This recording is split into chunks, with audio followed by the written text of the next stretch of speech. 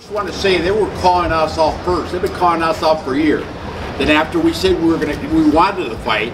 Okay, the father started going back and forth. We had the deal made for November.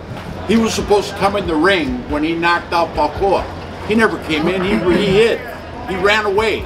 Okay, and then you know his, I can see it. I've been in boxing 40 years. I saw in his eyes. I saw the fear. You know, now we're ready. Now you can't hide no more.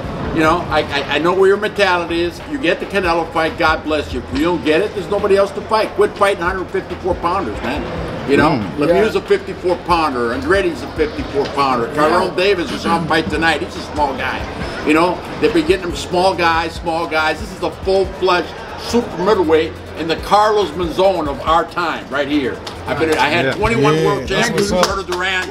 He's one of the great ones I've seen, and I saw it for the first time. Alexi Ferrer showed me his tape against De La Cruz, two-time gold, gold medal winners, 28 years old, fought him when he was 17, and the communists fucked him.